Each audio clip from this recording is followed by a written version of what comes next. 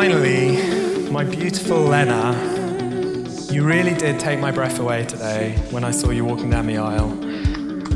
You're such a beautiful person, talented, intelligent, and strong. I'm so lucky to have you as my partner in life. You're the love of my life and the woman of my dreams.